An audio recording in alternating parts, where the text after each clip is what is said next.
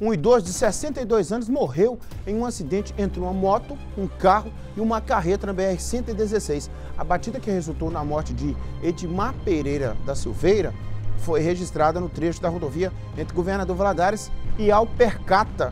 De acordo com as informações do motorista do carro, ele transitava sentido Alpercata quando foi surpreendido por Edmar, que aguardava em uma moto no acostamento. O idoso convergiu na pista para mudar de sentido, momento em que a colisão foi então registrada, né? Com o impacto, o carro saiu da pista ficando pendurado, como a gente vê ali, ó. Olha só. Pendurado no barranco, né? E o motociclista arremessado da pista contrária e atingido por uma carreta que vinha sentido a governador Valadares. Meu Deus do céu. Você de casa deve estar pensando, né?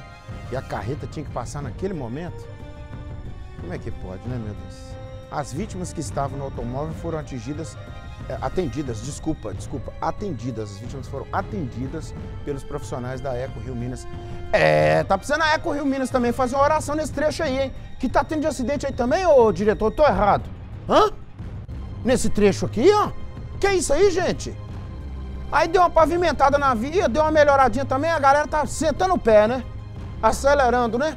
Dia desse um amigo foi me levar a trabalho lá em Jerusalém, falei, pode tirar o pezinho aí, papai. Não, porque nós estamos atrasados. Falei, então você saísse mais cedo aí.